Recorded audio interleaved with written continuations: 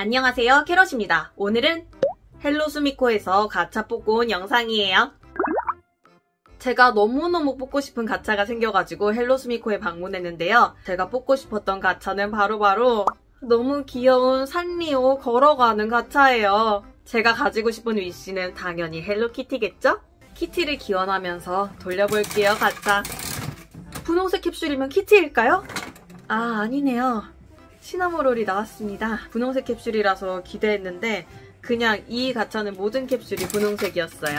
다음번에는 왠지 키티가 나올 테니까 네, 폼폼프린이네요. 그럼 한 번만 더 뽑아볼게요. 이번에는 키티가 나올 차례 아닌가요, 솔직히? 중복입니다. 더 돌려가지고 키티를 뽑아올까 싶긴 했는데 그것까지는 좀 가차로서 즐기는 게 아니라 욕심내는 건 것 같아가지고 여기서 마무리를 해봤고요. 사실 뭔가 더 돌려도 키티가 바로 나오지는 않을 것 같은 그런 막 불길한 기운이 저를 감싸는 거예요. 그래서 호다닥 나왔습니다. 그래도 너무너무 귀여운 강아지 친구들 리뷰해볼게요.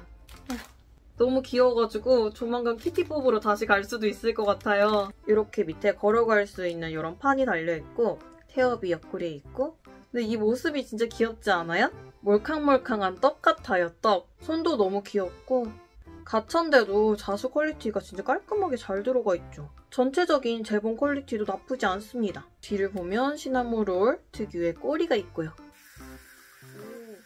이렇게 가지고 노는 장난감인데요. 너무 귀엽고 뭐라고 하지? 단순한 귀여움이라고 할까? 힐링되고 보면서 멍 때리기 좋고 시나모롤도 꽤나 귀여운데요?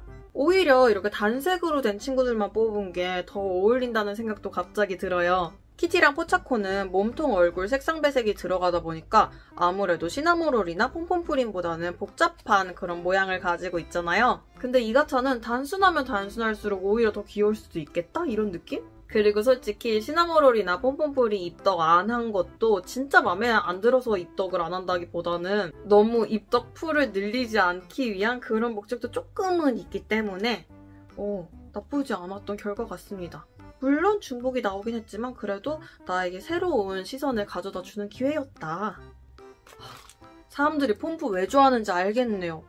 너무 귀엽죠? 쪼끄만 모자도 quality 너무 좋고 얼굴 자수 진짜 깔끔하죠? 똥구멍 자수도 너무 깔끔하네요. 이게 무슨 일이에요? 하양이 노랑이, 하양 찰떡, 노란 찰떡 같고 이렇게 쉐입도 비슷해가지고 세트 세트 그런 느낌. 근데 솔직히 키티도 뽑고 싶어져요. 키티랑 포차코도 실제로 보면 되게 마음에 들 것 같은 그런 느낌?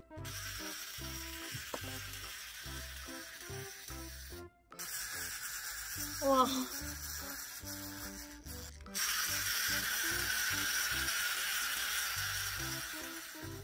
오늘 영상도 끝까지 함께 해주셔서 정말 감사드리고요. 다음에 또 만나요. 안녕!